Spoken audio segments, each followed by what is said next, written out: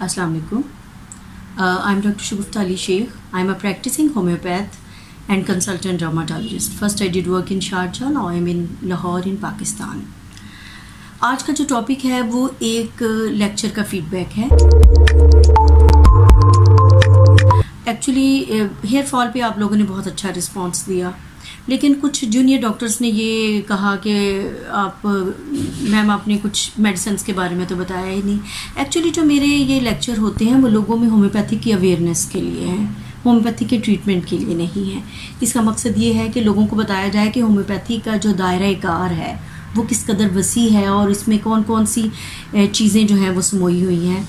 लेकिन बहरहाल, इस चीज़ को मैंने सोचा और मैंने कहा कि अगर किसी जूनियर की इस तरह से हेल्प हो जाए और उसकी मदद हो जाए तो ये बहुत अच्छी बात है। लेकिन इस चीज़ से आप काइंडली इसको आप ख़ुद से इस्तेमाल करना ना शुरू कर दें। अगर आप होम्योपैथिक डॉक्टर हैं तो तो ठीक है, लेकिन अगर एक आम पर्सन है तो आप बग़ैर किसी डॉक्टर की कंसल्टेशन के इन मेडिसन को इस्तेमाल नहीं कीजिएगा। ये सिर्फ़ अवेयरनेस के लिए होते हैं और इसका मकसद आपको इसके बारे में, होम्योपैथिक के बारे में आगाह करना होता है।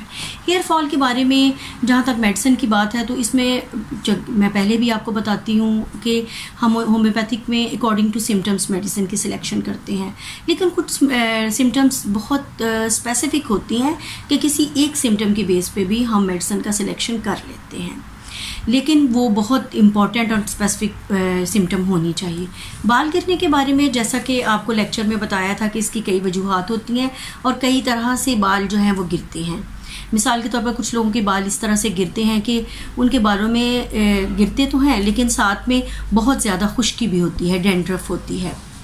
उसके लिए काली कार्ब थर्टी में बहुत अच्छी मेडिसिन है, बहुत अच्छे रिज़ल्ट देती है। अच्छा कुछ ऐसा होता है कि कुछ खातन में डिलीवरी के बाद बाल गिरना शुरू हो जाते हैं। ये भी एक बहुत स्पेसिफिक सिम्टम है और इसके लिए हमारे पास होम्योपैथी में सीपिया मेडिसिन बहुत अच्छी है। अगर ऐसा है कि डिलीवरी के बाद वीकनेस की वजह से किसी फीमेल के बाल गिरने शुरू हो जाएँ तो आप सीपिया को आजमाएँ वो कभी आपको मायूस नहीं करेगी। इसके अलावा कुछ लोगों के बाल जो हैं, वो गुच्छों की सूरत में उतरते हैं। बाल सफ़ेद भी जल्दी हो जाते हैं, उन्हें डेंड्रफ का प्रॉब्लम भी होता है। उस सूरत में फास्ट फोर्स 200 को याद रखिए। फास्ट फोर्स 200 जो है, वो बालों के गिरने के सिलसिले में बहुत अच्छी मेडिसन है और बहुत अच्छे जो है, वो रिज़ल्ट देती है।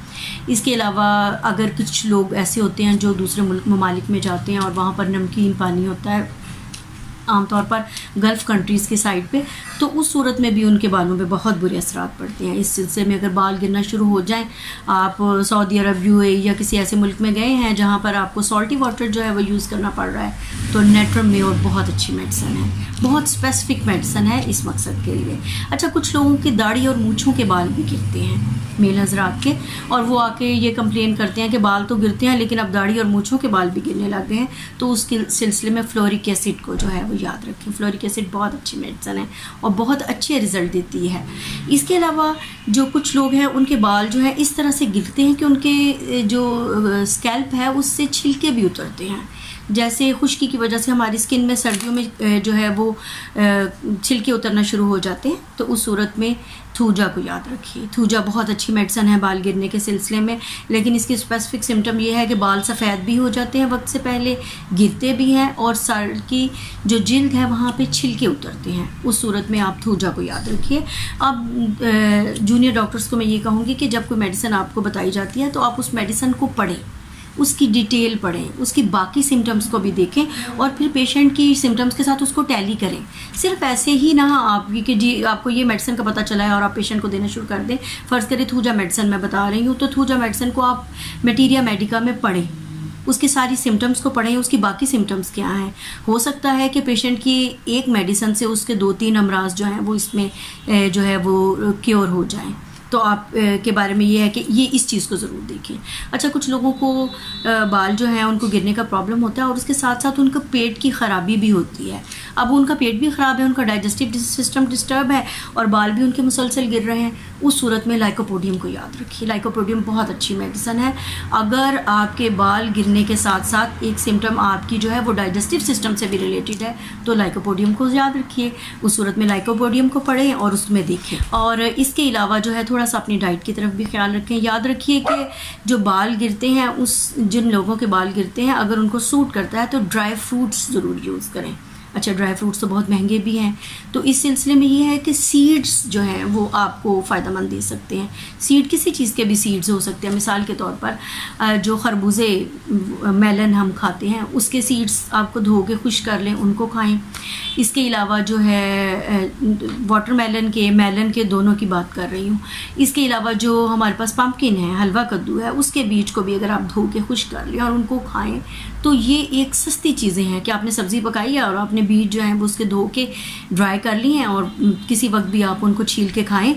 एक तो आपकी बड़ी अच्छी एक्टिविटी होगी और दूसरा जो है वो इससे आपके बाल गिरने में जो है वो बाल गिरने से रोकने के लिए ये बहुत अच्छी चीज़ है। सीड्स को आप नज़रअंदाज ना करें।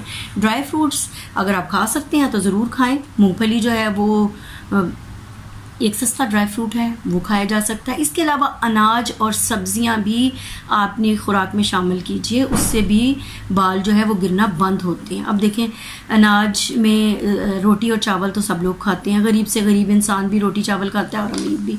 तो इस सिलसिले में अल्लाह ताला ने जो गजाइत है, वो सिर्फ़ महँगी चीज़ों में नहीं, अगर आप अफोर्ड कर सकते हैं तो दूध का इस्तेमाल कीजिए, शहद का इस्तेमाल कीजिए, पनीर का इस्तेमाल कीजिए और खुदारा स्पाइसी और फ्राई चीज़ों से थोड़ा सा दूर हो जाइए। अगर आपको अपनी सेहत और खूबसूरती अज़ीज़ है, ठीक है? आपने अपनी अगर स्किन और अपने बालों को खूबसूरत रखना है तो प्लीज़ ये फ्राई की हुई चीज़ें हफ़्ते में सिर्फ़ एक दिन आप इस्तेमाल कर सकते हैं, इससे ज़्यादा नहीं कर सकते। कच्ची सब्ज़ियाँ खाइए फ्रूट्स खाइए, जो चीज़ सस्ती अवेलेबल है, वो खा लीजिए। और अगर आप अफोर्ड कर सकते हैं तो फिर दूध का इस्तेमाल ज़्यादा कीजिए ड्राई फ्रूट्स खाइए। अपनी जो डाइट है, उसको अच्छा रखिए, अपने लाइफस्टाइल को अच्छा रखिए, और मेडिसिन को भी इस्तेमाल कीजिए। इन सब चीज़ों के साथ होम्योपैथी को याद रखिए, किसी स्किल्ड होम्योपैथी को कंसल्ट कीजिए इन आपके बाल गिरने के मसाइल हल हो जाएँगे। Thank you